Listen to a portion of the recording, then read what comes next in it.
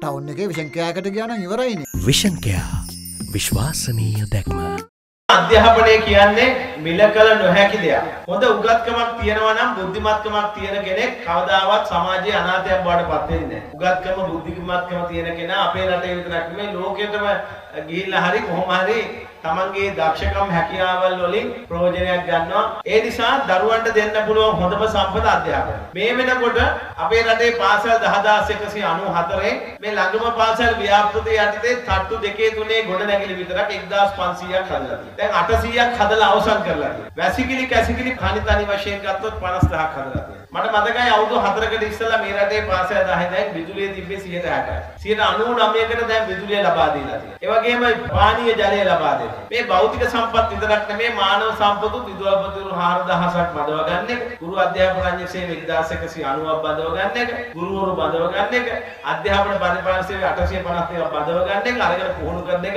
මේ සියල්ල කරලා තියෙනවා. විශේෂයෙන්ම අපේ දැනුම යාවත් කාලීන කරන්න විෂය මාලා යාවත් කාලීන කිරීමත් දැන් ආරම්භ කරලා තියෙනවා. ඉතින් අපිට ඕනකම තියෙන්නේ දැනුමෙන් සන්නද්ධ පුද්ගලයන් බවට පත් කරන්න මේ රටේ දරුවන්.